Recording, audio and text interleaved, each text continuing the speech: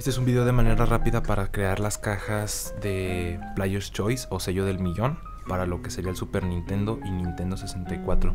De momento solamente estoy haciéndolas para formato americano, así que pido paciencia para las versiones eh, europeas y la verdad no sé si hay asiáticas, así que paciencia por favor.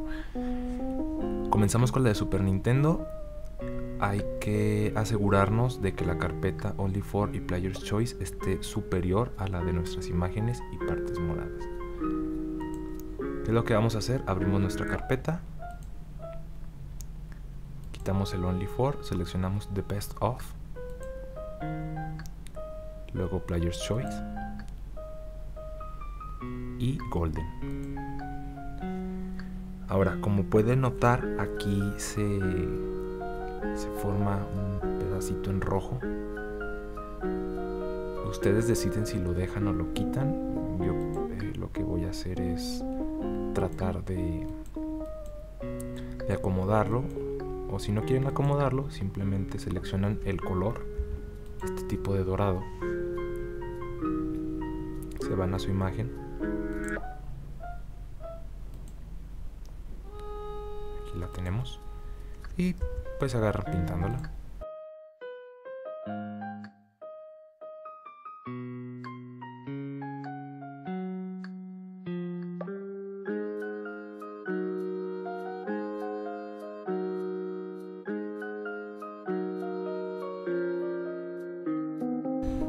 Ustedes pueden ser más detallistas en esas partes que queden rojo, nada más para dar el ejemplo. Y pues ya tendrían lo que es eh, la de Super Nintendo en Player's Choice. Algunas es más fácil, algunas es más difícil. Eh, traten quitando el logo, nada más porque aquí está la pata, la garra de Ridley y es más difícil para mí. Pero es la idea general.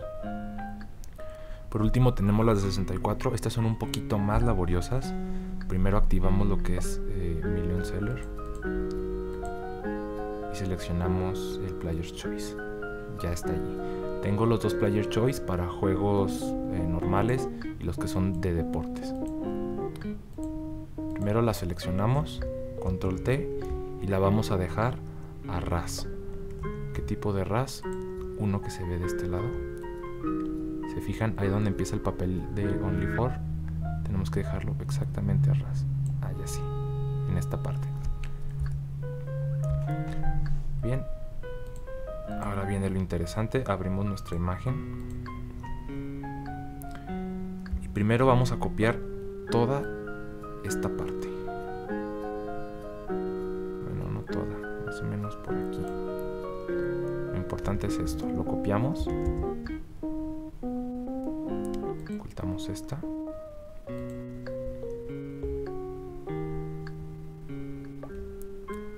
Y ahora hay que acomodarla borramos las partes que no nos son útiles, tenemos que dejar solo lo que es de color rojo.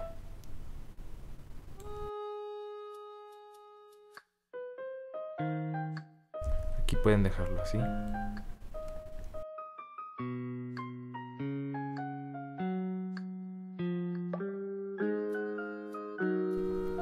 Muy bien, ahora eh, si ustedes lo están haciendo desde la plantilla,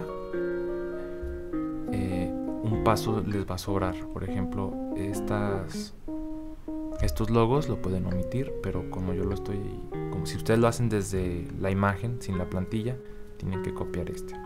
Ejemplo. Primero tenemos que copiar este de reciclaje, control C, control V, volvemos a seleccionar la imagen. Seleccionamos la clasificación de edad, la pegamos, volvemos a nuestra imagen inicial y aquí es donde les digo, es opcional. Si ustedes están trabajando fuera de la plantilla, o sea que nada más arrastraron la imagen, tienen que copiar esto. El loguito de Nintendo 64. De preferencia que quede dentro de la zona blanca para evitar que se vea dorado. Como aquí ya están por defecto, pues no es necesario. Nada más las unimos con control E para que se cree una sola imagen.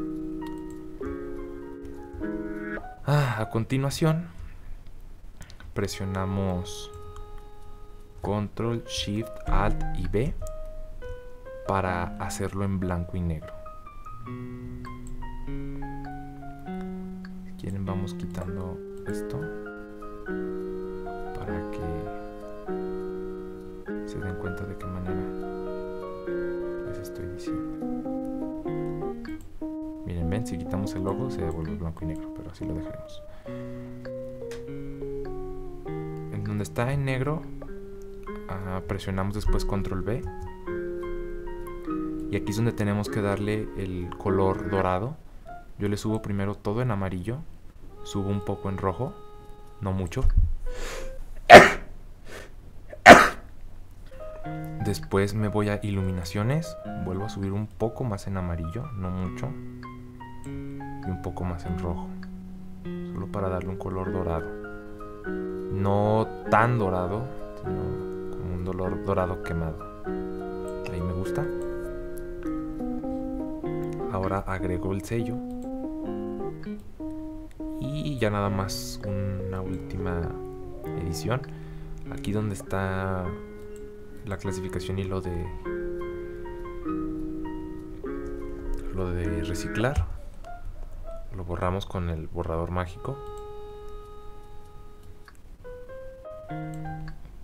y aquí donde está alrededor pues pueden utilizar esta el, el marco solamente para borrar esas pequeñas esquinitas rojas que se colaron.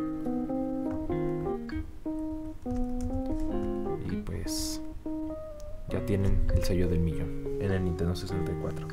Habrá algunas cajas, como es el caso de Perfect Dark, que solamente requiere el sello. Esto de acá es igual, se queda igual, solamente se agrega el sello.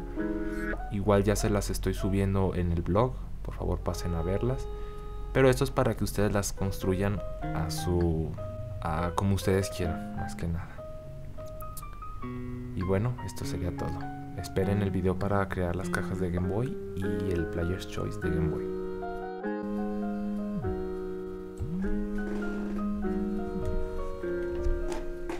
Bueno, ¿qué onda? Aquí trabajando y tú? Estoy haciendo un blog. ¿Sí? ¿Qué hongo?